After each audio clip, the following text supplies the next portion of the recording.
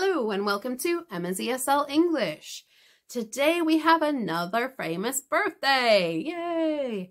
I will put some of the other birthday episodes in the cards and um, at the end I'll put a link as well.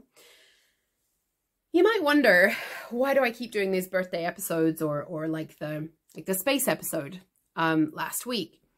Um, it may seem a bit random, but there is logic. It's not just for listening practice. The people that I talk about are usually culturally relevant in some way, whether it's in American culture, English culture, generally, or in international culture.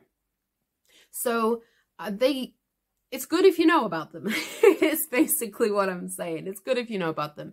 If you're chatting with your colleagues, they might come up in conversation, or you could bring them up in conversation. If you found them interesting and gone and done your own research or watched a movie with them or something like that, then there can be a good talking point as well. So if you have anyone that you'd like me to feature, then please feel free to let me know. You can email me at emmaseslenglish at gmail.com or you can put it in the comments if you're on YouTube. I would like to do some more international English people who've had an impact internationally that maybe I don't know about. Um, so yeah, cool. If you have any ideas, then please let me know. So today we're going to talk about Ma Rainey. Um, some of you might have heard this name before. Viola Davis recently portrayed her in the 2020 movie Ma Rainey's Black Bottom. Um, other than that movie and sort of outside Black American culture, she's not really been very famous. But just because someone isn't famous doesn't mean they're not influential. Ma Rainey was massively influential in her time, not only in Black history, and in music, but in American music generally. So, who's Ma Rainey? Born on April 26, 1886, Gertrude Melissa Nix Pridgett was born in Columbus, Georgia. So that's in the southern American states. Her parents were performers, so it's kind of only natural that she became a performer too. She traveled all over mid and Southern America, performing for both white, black, and segregated audiences. Rainey has been called the mother of the blues. Remember, blues is traditionally a black historic historical music that came from slavery times. Um, so she's brought the blues and the vaudeville together. And vaudeville music in America was kind of a light popular entertainment. In the UK, we would call them variety shows, and they've got magicians, acrobats, comedians, dancers, singers, and they all travel around together putting on shows to entertain people.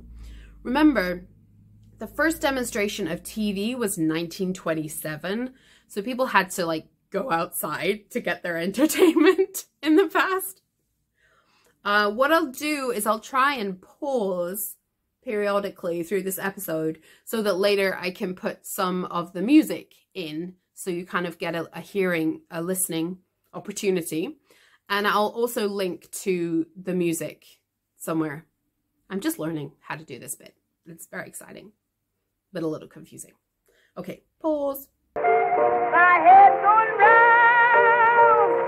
According to the Women's History Museum, Ma Rainey was known for her gold teeth, her flashy clothing, her jewelry, and her moaning style of music or singing. Um, and also for establishing a personal connection with her audiences. Cue moaning style uh, singing. But it was hard to be a performer in the early 1900s in America especially for black performers who were often treated and paid badly.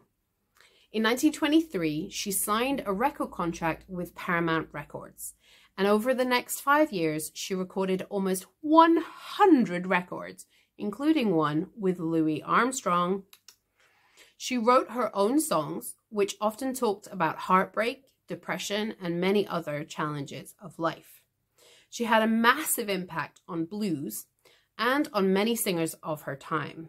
such as one of my favorites, Dinah Washington. I'm mad about the boy. And Janis Joplin. Won't you buy me a Mercedes Benz? In addition, as an openly bisexual woman who sang about her relationships and celebrated women's right to conduct themselves expansively, in the words of Angela Davis, a scholar, she became a cultural, actually, I think has, like now, in modern times. She's become a cultural icon for Black women and for the LGBTQ community. Ma Rainey uh, continued to tour for most of her life and sing, and eventually moved back to Georgia, where she managed two theaters. She died at 53 in 1939. If you would like to know more about Ma Rainey, I would suggest you watch the movie, as I mentioned, Ma Rainey's Black Bottom. Um, I will link to that trailer to that somewhere. And I've also covered several other Black women in the podcast before. Most recently, we talked about Maya Angelou, um, and we've also covered um, a little bit of um, Black racial cultural stuff in the um, Women's Week, International Women's Week podcast episodes. Um, so I'll link to those episodes too. And that's it. Don't forget to like, subscribe, and if you want to, join the Facebook group and we can talk about this more there, or you can ask any questions you have or whatever.